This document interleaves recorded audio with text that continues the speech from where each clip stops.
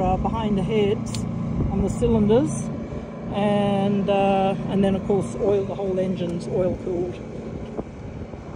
And then the lower radiator is the uh, oil radiator and it's very efficient. So I tape it off except for 100 degree days with taking a passenger. I need to peel the silver um, block off uh, the blockage off that. But yeah I have to wait to 100 degree days before it'll get too hot So there, it doesn't have any coolant other than the oil. It's 100% no, no, oil cooled? No, no, it, it's triple cool. We have the Oh. air, air cool through the fins here on the cylinder head, on the cylinder there.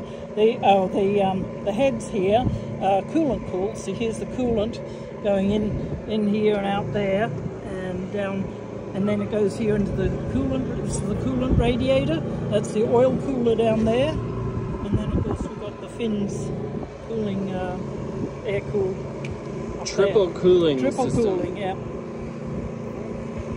I think that's how, you know, for such a small package, with a four cylinder engine, um, how they keep it, you know, so efficient. It's so well cooled from three different directions. Wow.